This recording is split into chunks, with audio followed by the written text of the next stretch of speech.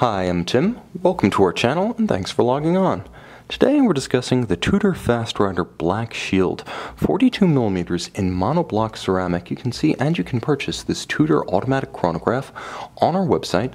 Subscribe to our YouTube channel if you enjoy these videos and please click on the card in the upper right hand corner of the screen at any time during this video to see our full sales listing for this watch with additional accessories included in the sale, high resolution images for your desktop, and naturally complete pricing details for this Tudor Fastrider Black Shield. Now, the Fastrider Black Shield is sort of, but not quite, Tudor's Daytona.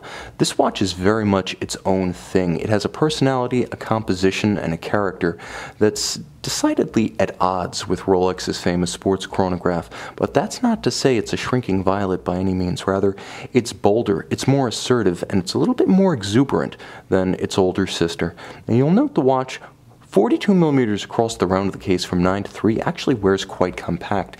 It's not as thick as you might think. 14.7 millimeters with a generously sloped bezel. It will fit underneath a blazer or sport jacket cuff. Heck, maybe even a dress cuff if you wear it a little bit loose. Stay away from that second button and you could pull this off. And with an all black aesthetic, that is the modern mode. That is something that you can wear with all attire today. So while it may be stark, think of it as bold rather than overbearing or excessively flamboyant.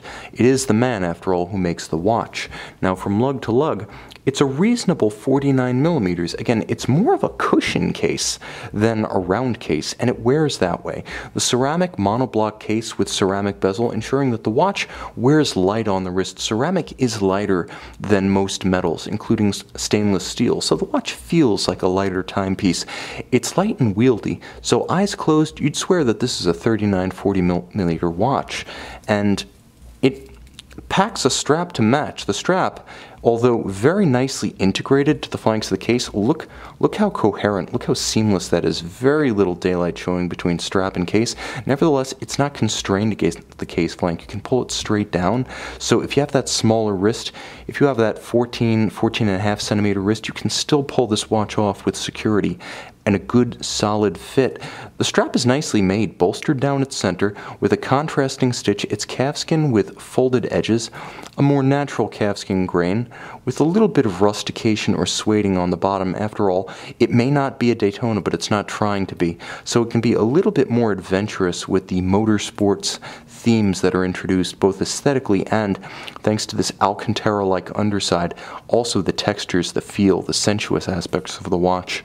Now the timepiece features uh, expressive dial flanked by a tachymetric scale in matching ceramic. Ceramic's advantage is that it's effectively as hard as a sapphire crystal, so you're going to have a difficult time accidentally scratching the watch. Most times when you rub it even against metal, what you'll see is a deposit of whatever you rubbed on the watch and it can be easily removed with a pencil eraser.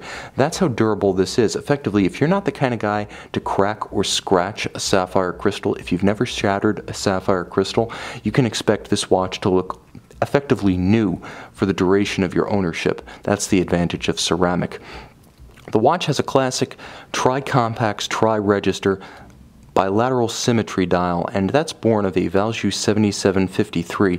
It's a version of the 7750 with a conventional tri-compax dial arrangement, so all adjustments of the date are done with this shield-style pusher adjuster on the flank.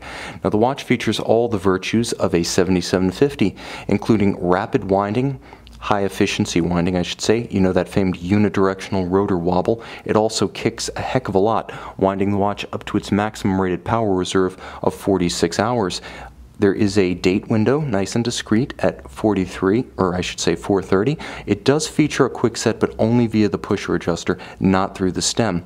Of course, the chronograph, easy to use, and I must say for a cam system, this one is exceptionally crisp. Also features hacking seconds when you unthread the crown, pull it, stop the balance, halt the seconds hand, synchronize precisely to a reference time. And again, it does go one up on its sister from Rolex, the Daytona being 100 meter water resistant, the Tudor Fastrider Black Shield being 150 meters water resistant. So throw it on a textile or a rubber strap and you'll be ready not just for fun in the sun, but beneath the waves. You can see and you can purchase this 42 millimeter ceramic automatic chronograph from Tudor on our website.